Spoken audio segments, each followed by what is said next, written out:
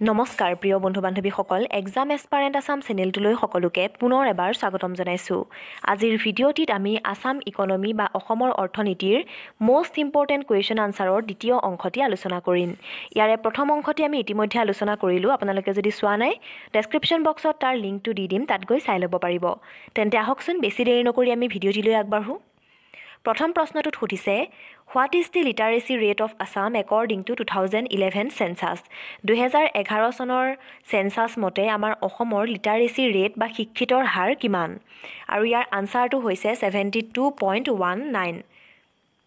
ঠিক আছে? চ' এইখিনিতে আপোনালোকক মই এটা কথা কওঁ। প্ৰায়বোৰ কম্পিটিটিভ এক্সাম বিশেষকৈ আমাৰ অসমৰ তাত দুহেজাৰ এঘাৰ চনৰ চেঞ্চাছৰ লগত জড়িত প্ৰশ্ন আহে। উদাহৰণস্বৰূপে পপুলেশ্যন ৰেট কিমান আছিল দুহেজাৰ এঘাৰ চনৰ চেঞ্চাছ মতে? লিটাৰেচি ৰেট কিমান আছিল? এনেকুৱা ধৰণৰ প্ৰশ্ন আহি থাকে। গতিকে আপোনালোকে দুহেজাৰ এঘাৰ চনৰ যিটো চেঞ্চাছ তাৰ ওপৰত ৰিলেটেড যিসমূহ ৰেট সেইখিনি ভালকৈ চাই ল'ব। প্ৰায়বোৰ এক্সামতে আহে গতিকে আপোনালোকৰো সহায় হ'ব। যদিহে এছ আই এক্সাম বা ডি এইচ এছ এক্সামৰ কাৰণে প্ৰিপেয়াৰ কৰি আছে তেন্তে মষ্ট ইম্পৰ্টেণ্ট হয়। ঠিক আছে?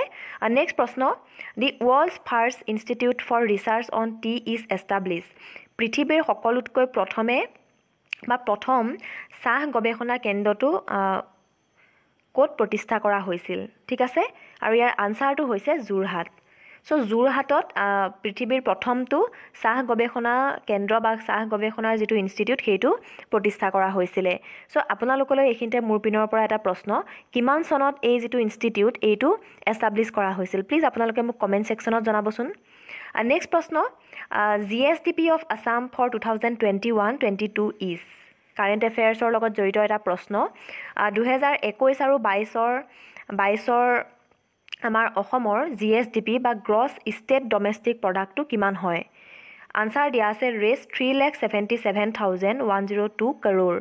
চ' এইটো হৈছে আমাৰ অসমৰ G S D P okay? Next প্ৰশ্ন what is the sex ratio' of Assam? অসমৰ ছেক্স ৰেচিঅ' কিমান হয়? ঠিক আছে আৰু ইয়াৰ আনচাৰটো হৈছে নাইন ফিফটি এইট নশ আঠাৱন্ন। তাৰ মানে প্ৰতি এহেজাৰজন পুৰুষৰ অনুপাতে নশ আঠাৱন্নগৰাকী মহিলা। আমাৰ অসমত ঠিক আছে? আৰু এই যিটো ছেক্স ৰেচিঅ' এইটো দুহেজাৰ এঘাৰ চনৰ চেঞ্চাছৰ মতেই ধৰা হৈছে। অ'কে চ' মনত থাকিব নিশ্চয়।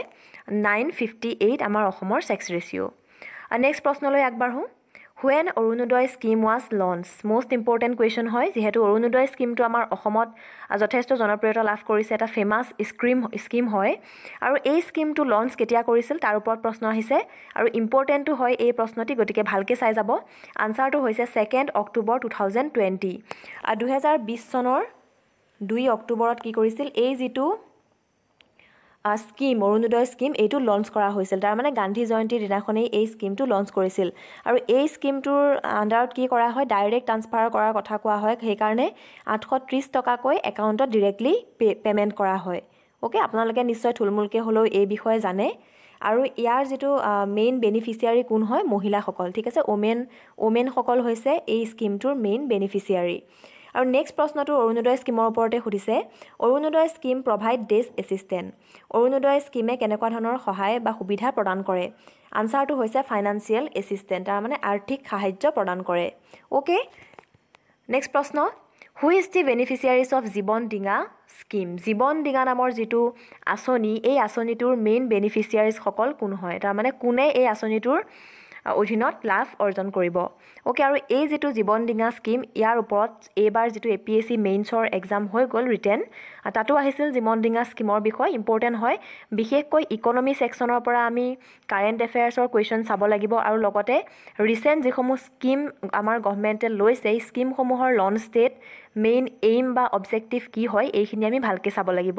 কাৰণ ইকনমি ছেকশ্যনৰ পৰা বহুত ডিটেইলছত কোনো ধৰণৰ কুৱেশ্যন নাহে যিহেতু ইকনমি ছাবজেক্টটো বা ইকনমিয়ে হৈছে ডাইনামিক ষ্টেটিক নহয় বস্তুবোৰ সেইকাৰণে চেঞ্জ হৈ থাকে।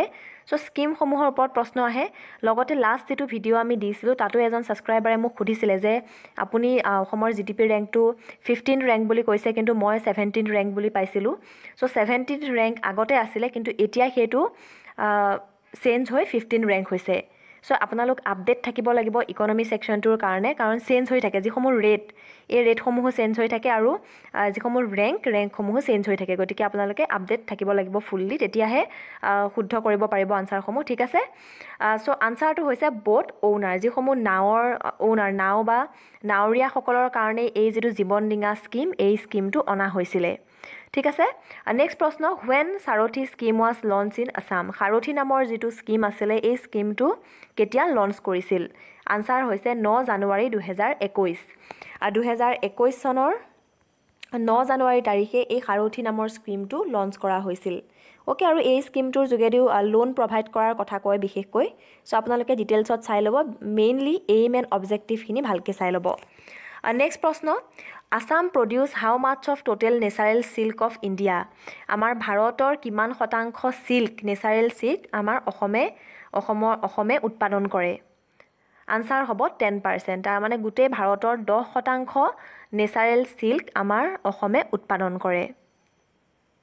অ'কে নেক্সট প্ৰশ্ন which district have highest population in Assam so' দুহেজাৰ এঘাৰ চনৰ চেঞ্চাছ মতে অসমত সকলোতকৈ বেছি জনসংখ্যা থকা ডিষ্ট্ৰিক্ট কোনখন? আনচাৰ হৈছে নগাঁও ডিষ্ট্ৰিক্ট চ' নগাঁও ডিষ্ট্ৰিক্টত সকলোতকৈ বেছি জনসংখ্যা। আৰু ইয়াত মই লৱেষ্ট জনসংখ্যা কোনখন ডিষ্ট্ৰিক্টৰ সেইটো উল্লেখ কৰি দিছোঁ। আনচাৰ হৈছে ডিমা হাছাও।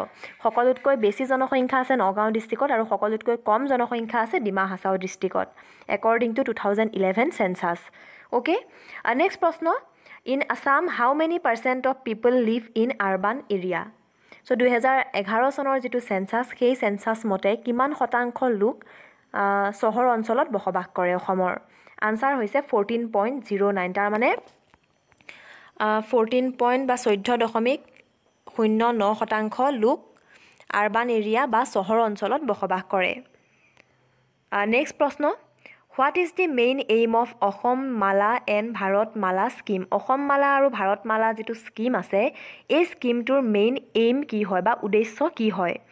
অ'কে আৰু ইয়াৰ আনচাৰটো হৈছে বিল্ডিং ৰোডছ তাৰমানে ৰাস্তা পদূলি নিৰ্মাণ কৰাটোৱে হৈছে বিল্ডিং হাই কোৱালিটিৰ ৰোডছ একচুৱেলি তাৰমানে ভাল হাই কোৱালিটিৰ ভাল যিসমূহ ৰাস্তা এই ৰাস্তা নিৰ্মাণ কৰাটোৱে হৈছে অসম মালা এণ্ড ভাৰত মালা স্কীমৰ মুখ্য লক্ষ্য।